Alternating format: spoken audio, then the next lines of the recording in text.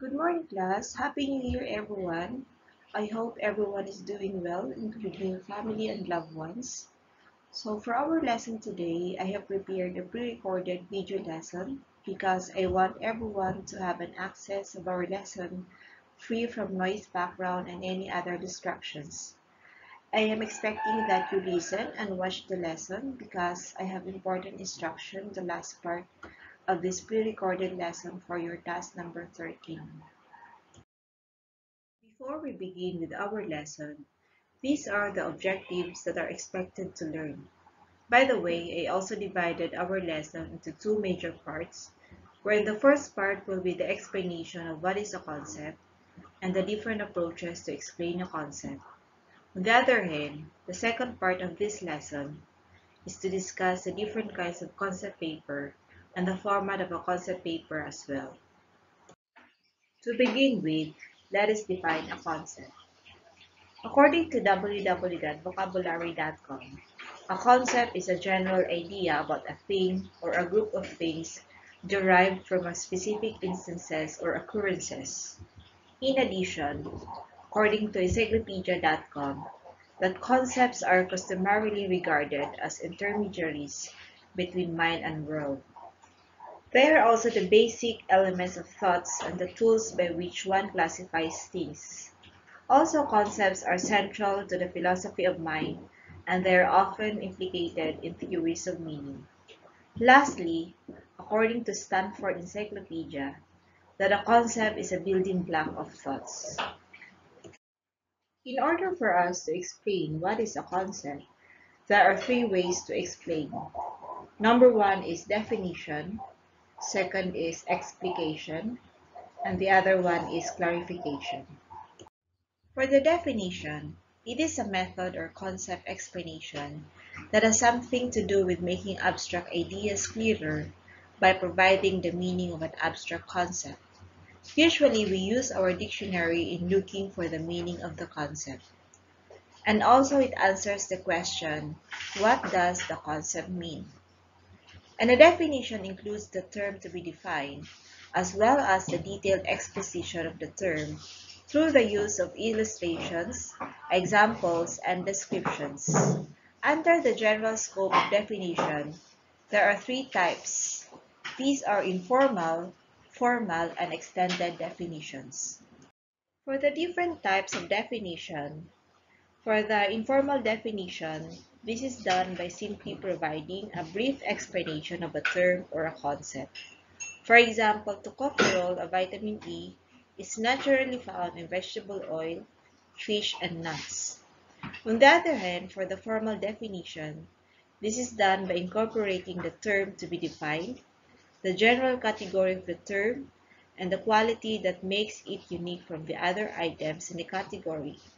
For example, vitamin E is a light yellow fat-soluble vitamin that acts as an antioxidant. If you're going to observe, it is color-coded. For the term to be defined, which is the word vitamin, and for the general category of the term, which is the word antioxidant. And for the quality that makes it unique from the other items in the category is the vitamin E is a light yellow fat soluble. Stepping up further, extended definition is more complicated because it is a combination of informal definition and formal definition. It is a detailed way of explaining a concept and may be a paragraph long. This incorporates the different patterns of definition that includes formal and informal, comparison and contrast, and also narration and description, and others. To further explain what is an extended definition, extended definition defines and explains a single term, concept, or object. Also, it pins down the meaning of a specific word or defines an abstract concept. Lastly, it goes deeper than a simple dictionary definition. To give you an example, here is a paragraph showing an example of an extended definition. Now, if you want to read this entire material, you may pause this video now. The second way of explaining a concept is explication. It is a method of explanation used mainly for literary criticism. This is done by snipping certain lines, phrases, verses, or even the entire, entire text itself, and then interpreting or explaining them in detail. Also, in using explication, one should state his or her thesis statement, as you can remember from our previous lesson about thesis statement, in the introduction and then writing the detailed analysis of the passage or text, depending on the type of criticism that is being used, including a description of how the text itself was constructed, and then ending it with a restatement of the thesis statement made earlier as well as the summary of the major arguments given. If you want to see an example of an explication, you may use this link below.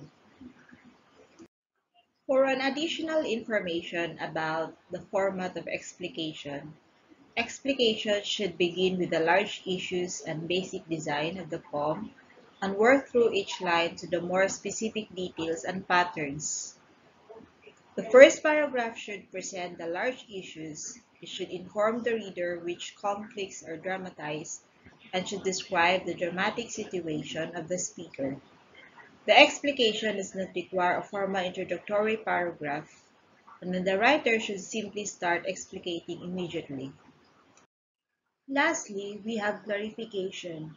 This entails the analysis of a concept by looking at the examples and specifying some of its characteristics to arrive at one working definition, which can be used throughout the paper. So in simpler terms, we take a concept, break it down into its component types of examples, and then explain the examples. After that, after specifying the examples, a general understanding of the concept is then gained. So that wraps up the first part of our lesson which is the understanding of what is a concept. So for the part of our lesson, we will be discussing about what are concept papers. A concept paper is usually submitted prior to the submission of a project proposal. Also, concept paper also provides an overview of the project which allows stakeholders to have a clear understanding of the foundations of a project for the purpose of funding. Another thing is a concept paper typically answers the following questions. What is the project or research all about? What are the reasons for conducting the said project or research? And lastly, how will the project or research be carried out according to Sipacio and Barrot in 2016? So let us identify the uses of a concept paper. First is it serves as the foundation of a full project proposal. Second, it helps determine the feasibility of a project before it is implemented. Third, it is used to pique the interest of potential funding agencies. And lastly, it is used to gather important feedback regarding the presented ideas before preparing the full proposal. So actually, a concept paper is like a movie trailer wherein you give a glimpse of what the movie is all about. When talking about concept paper, we have two major types. One is project concept paper and the other one is a research concept paper. For the project, we have five parts. Number one is the cover page, Second is the introduction, where you have to include the information about the funding agency, the mission of the agency, as well as providing the reasons why funding should be given to the project. Third is the rationale or the background, wherein you have to state the gap in the knowledge to be addressed of your project. You have to state the problem that needs to be solved as well as state the project significance. Number four is the project description, wherein you have to state the goals and the objectives of the project, also the methodology, the timeline, the benefits of the outcome, and how success will be evaluated. And lastly, project needs and costs, where you have to illustrate the outline of the main budget, including item description and amount, How will the budget be used? Personnel and equipment. For the second major type of concept paper is research. We have seven parts of this kind of concept paper. Number one is title page, wherein you have to include the research title, the name of proponents and school, the date of submission. Second is the background of the study, wherein you have to include status quo, the research gap, the problems that needs to be addressed by your research, your reasons why you are conducting the research, the theoretical and practical implications of the proposed research. And third is preliminary literature review. So you really have to read some previous study related to your research. Number four, statement of the problem or objectives, wherein you have to start first with the general problem and including the specific research questions or objectives. Number five, a bridge methodology where you have to indicate the context of your participants, your research instrument or tools, as well as your data collection procedure and the data analysis scheme. And number six is your timeline. And lastly is references. I will be teaching you how to use the correct format of citation and referencing. For your task number 13, I want you to create a concept map showing the brief summary of our lesson today about concept paper. Use your notebook or any sheet of paper. Please send a photo of your output through our Google Classroom. To give you an idea on how to create a concept map, below are the examples of concept map for your reference. It is up to you on how you create your own concept map. Lastly, for this topic, you will also have to submit a concept paper, but it will be done by group. I will provide further instructions on how to create and submit your concept paper.